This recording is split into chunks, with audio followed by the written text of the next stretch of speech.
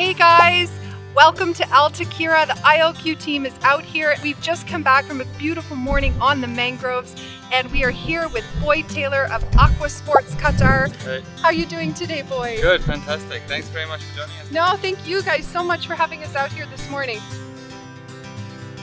This is uh, Al Thakira Nature Reserve. It's a 20, 25 kilometer stretch of uh, mangroves. Um, beautiful place to come paddling.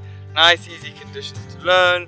Beginners, even if you've got experience, it's, it's, there's something there for you as well.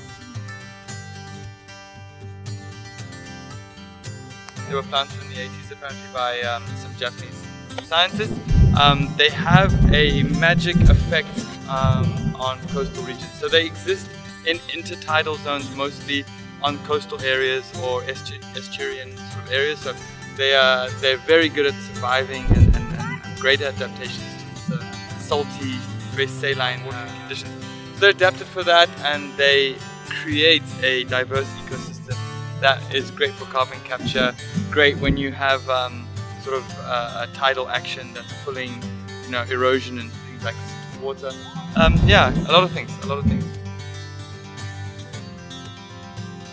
Yeah, you saw some crabs today for sure. The water's a bit murky today, but you sometimes see stingrays and lots of jumping little fish that sometimes jump in your boat and stuff. You're definitely feeling nature when you're here, and there are things to see.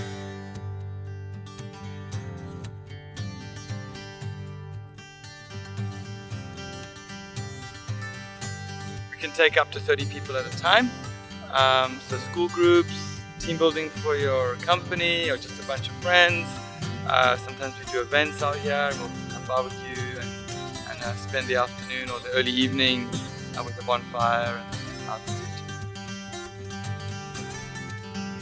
This is like my office, so I, I get to come out here all the time and just be outside in the green as the bird life and everything. It's super relaxing, super relaxing. And taking people out and seeing them smile at the end of the day, perfect. Well, thank you so much, Boyd, and a huge thank you to Aqua Sports Qatar, and a huge thanks to Qatar Optics for providing us with some amazing shades today to keep the sun out of our eyes. And we hope that you guys will come and check out a new part of Qatar that maybe you haven't explored before and learn that there is some nature in this desert country of ours. All right, guys, cheers for now from the ILQ team.